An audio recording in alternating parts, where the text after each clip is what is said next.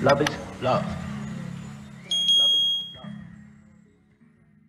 Praise the Lord! Magandang gabi po sa ating lahat at binabati ko ang bawat isa sa pangalan ng ating Panginoong Heso Kristo.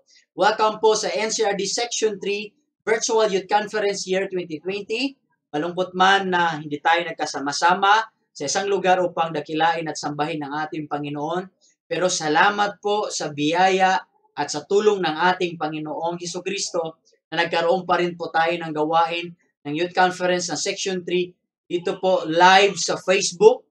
At salamat po sa tulong ng ating pong Section 3 Presbyter Pastor Rod Galimet at ating din pong NCRD President Pastor Joey Ibanez at sa ating pong NCRD District Officials. Maraming salamat po. At higit sa lahat sa ating Panginoon at sa lahat po ng young people at kabataan ng Section 3.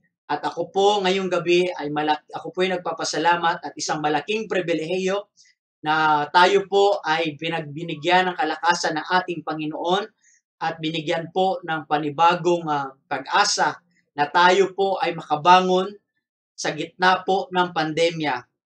Marami man pong nagulat noong March 15 nung tayo po ay na-lockdown. Simula po noong March 15, marami po tayo higit sa lahat ang mga kabataan na apektuhan. Maraming mga plano, maraming mga mga schedule, maraming mga mga plans na na hindi natin inexpect mga kapatid that this this pandemic will happen. But thanks be to our Lord Jesus Christ, kung ang plano man po natin ay nasira, ngunit ang plano ng Diyos ay kailanman walang demonyo, walang impyerno, walang pandemic, walang problema na makakahadlang sa plano ng ating Panginoon at yun po ang magligtas sa atin pong lahat, lalo na sa mga kabataan. Ngayong gabi po ay isang malaking opportunity dahil available pa rin po ang kaligtasan ng Diyos.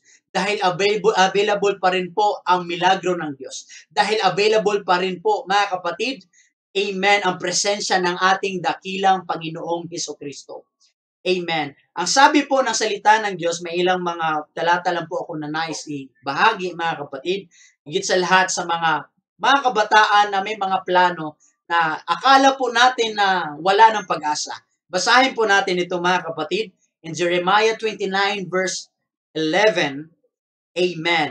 Ang sabi po ng Jeremiah 29 verse 11 mga kapatid, For I know the plans I have for you, says the Lord. They are plans for good and not for disaster, to give you a future and a hope.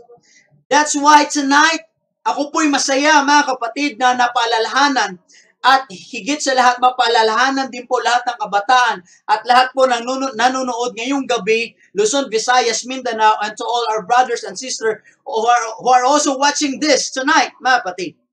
I know you we have disaster all around, all over the world. Kahit sa amang lugar tayo pumunta, may mga, mga, may mga gulo na nangyayari. Amen. But, good news, hallelujah, Masira man lahat ng plano ng bawat isa. I know, may pinanghinaan na tayo ng loob mga kapatid. But the Bible also reminds us tonight na huwag po tayo masyado mag-alala. But it does not mean na hindi, tayo, hindi na tayo magpaplano. It does not mean na wala na tayong gagawin plano mga kapatid. But hold on. Amen. Meron mang times na dumating sa buhay natin, mawawalan tayo tingin natin na wala ng pag-asa mga kapatid. Guess what? The Bible declares Amen, na matagal na po and already established and settled ang plano ng Diyos sa buhay mo. Yes, ikaw po, tayo ngayong gabi. The Lord has a plan for us, what? To have a good. The Lord says they are plans for good and not for disaster. Hallelujah. And to give us a future and a hope. Hallelujah. That's why tonight, Amen. Let's hold on to the promise and let's hold on to that future and let's hold on, mga kapatid, to the promise and to the word of God. What we need to do is to less to listen. Bawasan natin ang pagkikinig sa sanlibutan and mas lalo pong ibalik natin ating tuon at attention sa salita ng ating Panginoon. Hallelujah. Maybe the news ay maghatid sa atin ng negative, mag-update sa atin mga kapatid, ilan na ang namatay, hallelujah, ilan na nahawaan, but hold on to the word of God, hallelujah, because the Lord is faithful to His promise, amen, that in the last days, yes, we are the last days people, amen, we are still experiencing the great revival, hallelujah, the latter rain will be greater than the former rain. I still believe, mga kapatid, that even this online situation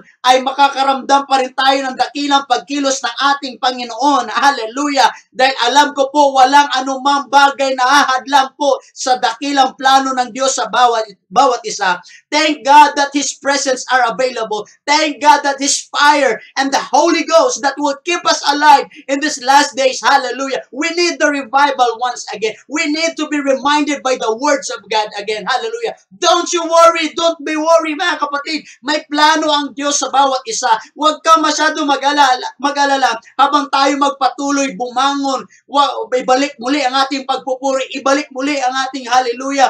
Praise the Lord, pasasalamat at pagbibigay at suporta sa gawain ng ating Panginoon. Manumbalik tayo muli mga kapatid and it's time for us to be alive and awakened tonight in these last days. Hallelujah na alam ko ang bawat isa na panghinaan na ng pananampalataya. Pero wag po tayong basta-basta magpa-apekto kung ano ang sinasabi ng balita at ng sanlibutan. Yes, totoo yan mga kapatid. They are not fake news. Amen. We are facing the reality. And this is not a fake news, mga kapatid. But, but the good news, matagal na tayong binalaan at, sina, at, at, at nababasa natin sa Bible that in the last days, these things will happen. Perilous times will come. Hallelujah. Perilous times will come, mga kapatid. But this kind of pandemic, it, it's, it, it's, it is a test for us, mga kapatid. It is a test for, for the church. It is a test for our faith. It is a test, amen, for our obedience to the Lord. And it, it, it, it is a test for our characters. Amen. Hallelujah. But ako po'y nagpapasalamat sa ating dakilang Panginoon. Hallelujah. That even this pandemic, this online situations, mga kapatid, the good news is the Lord are waiting. Amen. Those people who are still, amen, stand up and say, and praising God and say hallelujah. Say ha, praise the Lord. And and you know what, mga kapatid, if the enemy, our our enemy, our advers- adversary is the devil, amen, is like a roaring lion na nag-aantay sa atin kung kailan tayo manghina. But thank be, thanks be to God because the Lord, He has a plan for us. The Bible also reminds us, amen. The Bible also reminds us, let's read mga kapatid, in the book of Hebrews.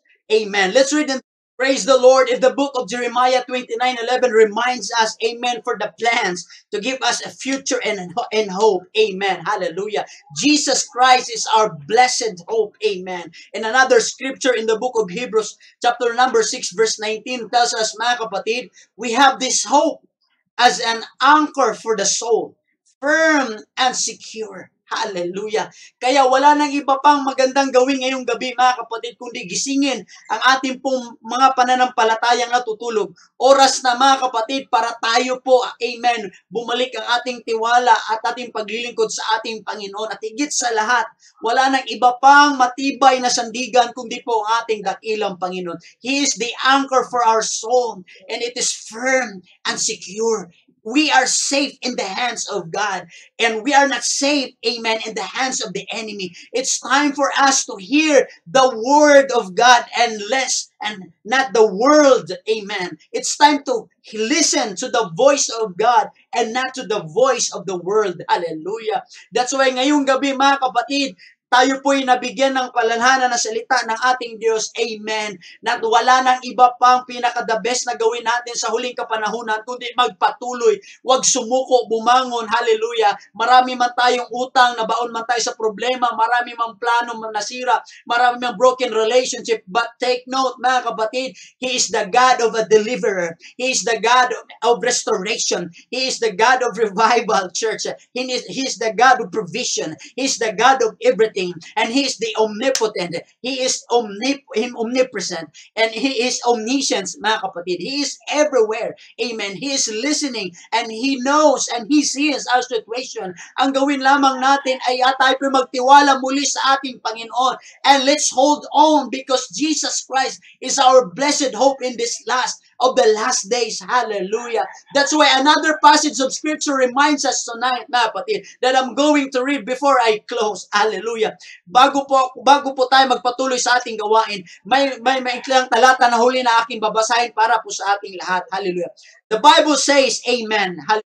Now, the Bible says in the book of Matthew, in the last page of Matthew, mga kapatid, I love this part. It's, it's because talagang alam na ng Diyos kung ano mangyayari sa bawat isa sa atin. Hallelujah. Now, if, if we're going to read in the book of Matthew 28, verse 19 to, to 20, kumbaga, napakagandang paalala sa bawat isa po sa atin na kahit na sinasabi ng ng kaaway kung ano po ang ating sitwasyon na kinakikita natin, amen. But if we try to use our spiritual eyesight, amen, that the enemy will try to block our vision, the enemy is try to dim us and to blind our vision, mga kapatid, hallelujah. That's what the enemy do to us, ginagawa ng kaaway sa atin, mga kapatid. That's why hindi nagsisinungaling ang sabi ng aklat ng Jeremiah 29:11 that the Lord has a plan for us. He has already a plan for you, mga kapatid. Hallelujah. But here comes the enemy, church. Amen. Because the Lord Jesus Christ is our future and our hope.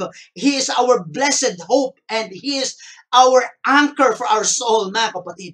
Ang gagawin ng kaaway ay ibablock ang ating vision. Mamarkahan tayo mga kapatid, amen, na kung saan panghihinaan ang ating pong kalooban at ating nakikita at napapansin ay ang ating pong problema, ang ating pong sitwasyon sa ngayon. But take note, gusto ko pong palalanan ng bawat isa that we have the future, church. Yes, young people, you have the future, and that is the Lord Jesus Christ. Hallelujah. Because He is our blessed hope. Amen. Let's fix our eyes, amen, to that blessed hope. Let's fix our faith to that blessed hope. Let's let's turn our eyes once again to, to Jesus Christ because He is our hope in our future. Now let's read, mga kapatid. This is the last the last page. This is a strong declaration in the last page of the, of the book of Matthew. The Bible says, and remember.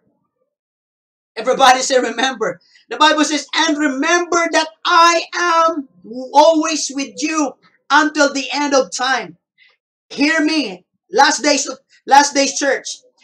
Remember that I am always with you until the end of time. Hallelujah. It's like this this declaration, it's like no matter what happened into your life, no matter what happened into your church, no matter what happened, amen, to our situation. I know we have this kind of battle, but guess what? The battle is for the Lord, church. Amen. Because I still believe we are on the winning side. We are overcomer. We are the promise. Amen. We have the promise. Amen. Hallelujah. It's time to remind ourselves we are the children of God. Hallelujah. Wag natin masya alam ko na meron tayong mga problema na nakikita, mga kapatid. But it's time to use our faith and to see that blessed hope that someday Jesus Christ will come soon. Amen. It's time to be revived, to, to have, to feel the presence of the Lord Jesus Christ. That even this online, I still believe that we can still feel the supernatural move of God. Hallelujah. It,